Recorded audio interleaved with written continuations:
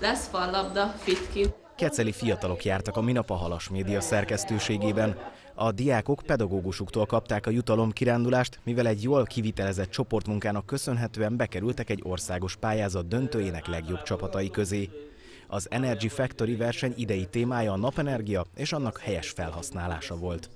Az a célja, hogy a gyerekek között minél népszerűbbé tegye, illetve tudatosabbá tegye őket a, a környezetvédelemmel, az újrahasznosítható anyagokkal, a fenntartató fejlődéssel kapcsolatban, ezt tudatosítsa. Az iskolánkból öt csapat is bekerült az elődöntőbe, ilyen más nem volt, nagyon büszkék vagyunk.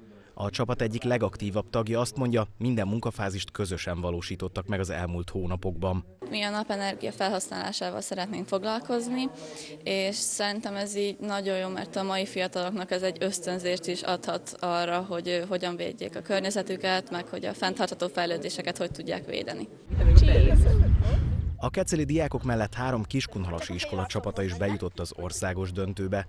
Ők mindannyian egyedi formában kívánták megközelíteni a napenergia felhasználásának témakörét. A felsővárosi iskolában például a tanulókat szeretnék megmozgatni egy pályázattal. Két ötletünk volt, a, egy rajzpályázat, meg egy fotópályázat. Mi a fotópályázat ötletét választottuk, mivel hát nem tudom, az jobban tetszett nekünk. A másik csapat az a rajzpályázatos volt. Ők nem jutottak be, ami nem volt olyan jó, de mégis azért mi bejutottunk, így most meghirdettük a pályázatot.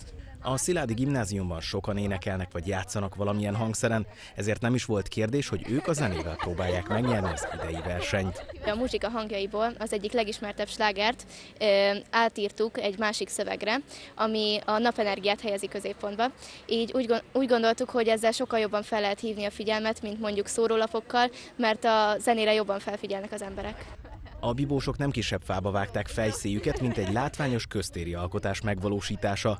Terveik szerint nyártól egy 4 méter átmérőjű napóra díszíti majd ezt a teret. Mindenképpen szerettünk volna valami maradandót alkotni, és azt gondoltuk, hogy erre a legjobb az egy napóra lenne a Semmelweis térre, mivel erre sokan járnak, és ezzel azt üzennénk a lakosság felé, hogy nem kell egyből az elektronikai eszközökhöz nyúlni, hogy megtudjuk a pontos időt.